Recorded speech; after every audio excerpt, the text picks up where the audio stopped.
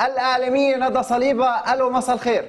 bonsoir bonsoir فاج bonsoir آه، اشتقت لك على الصعيد الشخصي واشتقنا لك على هواء الأو تي في.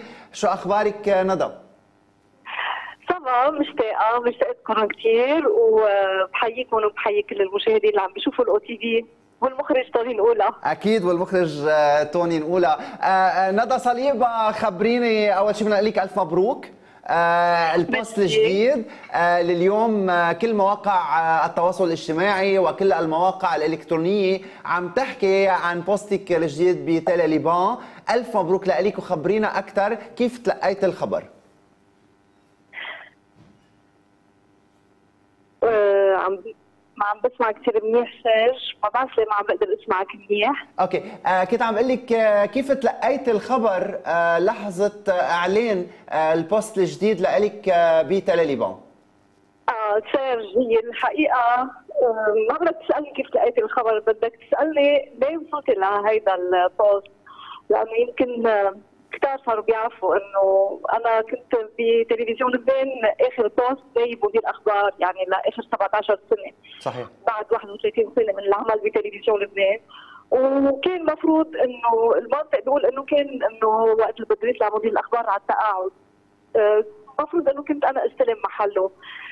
بس كان في اعتبارات سياسية طائفية وهالاعتبارات حالت دون إنه أنا أستلم هالموقع. وكان جميل لإلي آه، موقع آه. مديرية الأخبار. بالوقت إنه الكل بيعرف إنه إنه الأحقية إنه المفروض تكون لإلي. واعتبرت إنه هذا الشيء ما كان منصف لإلي. مع احترامي أكيد ومحبتي لزميلتي وتقديري لها بس كمان إنه المفروض تكون أنا كمان اخذه حقي بهالمديرية. ف وكان في آه موقع شاغر بالتلفزيون وحسيت إنه ممكن اكون أنا بهالموقع يلي هو مساعد مدير عام آه، آه، رئيس مجلس الإدارة ممكن يكون أنا هذا الموقع آه، بيناسبني لأنه بدك تكون عم تتعاطى أخبار وبدك تكون عم تتعاطى برامج وبدك تكون مشرف تقريبا على كل شؤون مؤسسة تلفزيون لبنان. فارتقى رئيس مجلس الاداره أنه أكون بهالموقع وأنا اعتبرت حالي أنه ممكن هيك اكون أنصفت ورجعت أخذت حقي بعد 31 سنة بتلفزيون لبنان وكون بعدني ضمن المجال الإعلامي وحايطة شؤون التلفزيون بشكل عام. واو. وهيك صار بس ما كانت هينة يعني كان في شوية إشكالات وكان في شوية اعتراضات وعقبات ولكن بال بس مهم النتيجة يعني أكيد. صحيح صحيح. نعم. مهم النتيجة هي أهم شيء.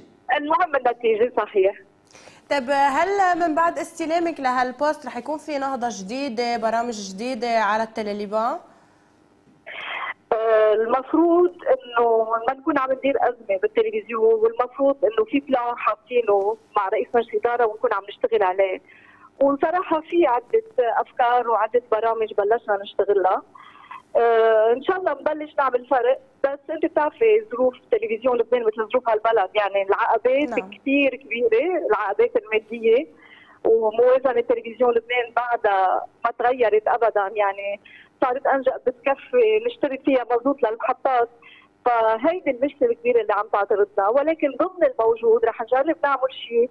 ورح حاول ونحاول نحن والمسؤولين رئيس مجلس الإدارة والزملاء إنه نجرب إنه نبين الفرق نعمل ولأنه آه فرق صغير نجرب نعيد بالقليلة هالتلفزيون لموقعه على الخريطة الإعلامية اللي قلنا زمان من نادي إنه نرجع نسترجعه.